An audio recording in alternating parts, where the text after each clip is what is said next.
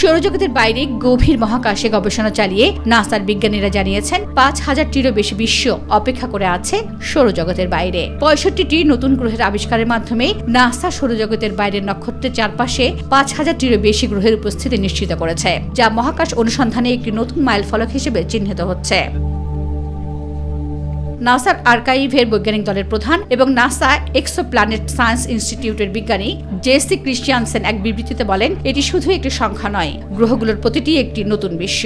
Milky Way গ্যালাক্সিতে শত শত billion গ্রহ রয়েছে এবং এটি কেবল একটি Galaxy.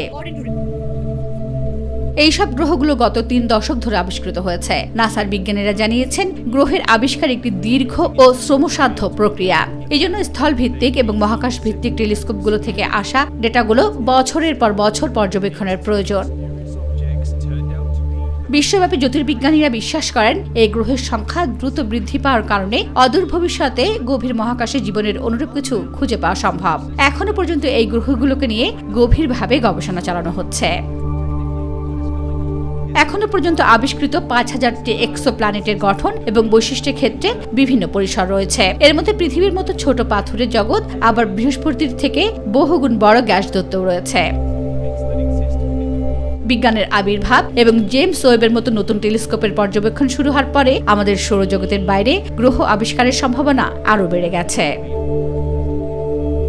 Marzia Mannan, my TV.